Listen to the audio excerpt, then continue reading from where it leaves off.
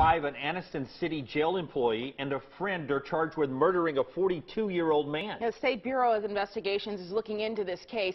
WIAT 42 News reporter Stephon Dingle is live in our newsroom with how the victim's family is reacting to this news. Stephon. Sherry, good evening. Angry and heartbroken would be the best way to describe the feelings of family and friends that attended a rally for 42-year-old Deatrice Barclay, who was murdered in his own front yard. We gonna follow the system.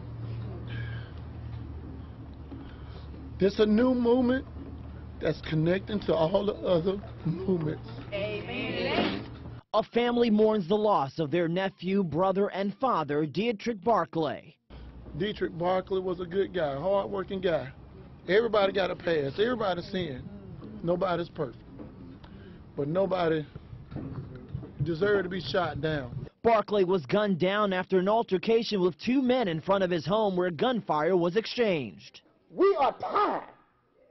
We are tired of being tired of just getting shot down for no reason.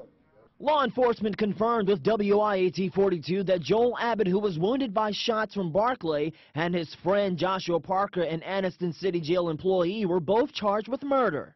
He's been here for approximately two years.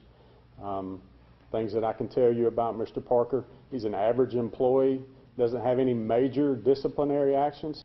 But his latest alleged offense may have hurt the deepest for those who knew Deatrice Barclay.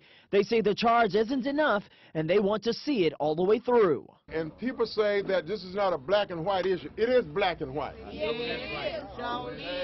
People say that it's not racial. It is racial. Now, both men are currently being held in Calhoun County Jail with the bond set at $500,000. Reporting from the newsroom, Stephon Dingle, WIAT 42 News. Coverage you can count on.